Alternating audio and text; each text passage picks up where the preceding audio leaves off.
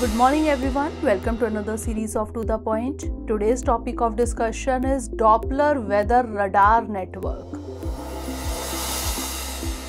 First of all, let's see why is it in the news.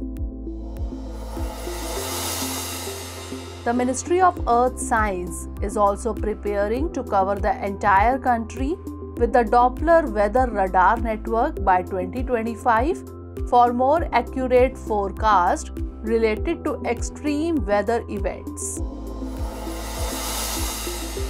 Now let's discuss what is Doppler Weather Radar or DWR.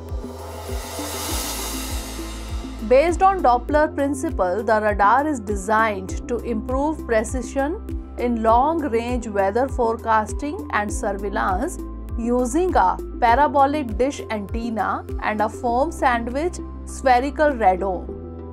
DWR has the equipment to measure rainfall intensity, wind shear, and velocity. It also locates a storm center and the direction of a tornado or gust front. Now let's understand what is radar, radio detection and ranging. It is a device which uses electromagnetic waves in a microwaves region to detect location, altitude, intensity, and movement of moving and non moving objects. Radars are a beam of energy called radio waves emitted from an antenna.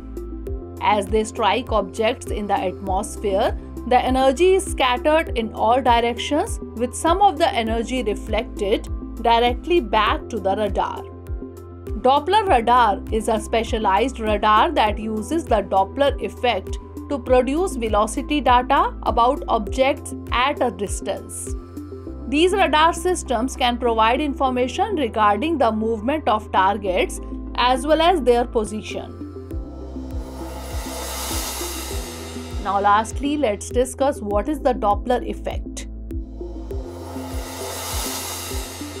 It was first described in 1842 by Austrian physicist Christian Doppler.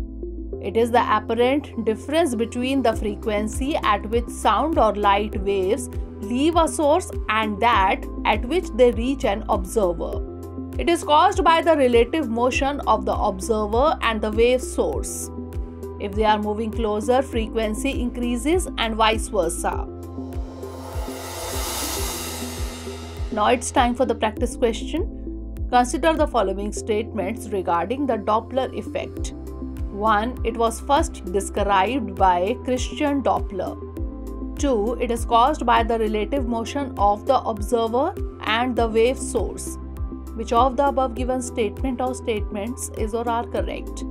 1 only, 2 only, both 1 and 2, or neither 1 nor 2. Send the answer of this question in the comment section. Stay tuned for the next episode. Thanks for watching. Have a great day.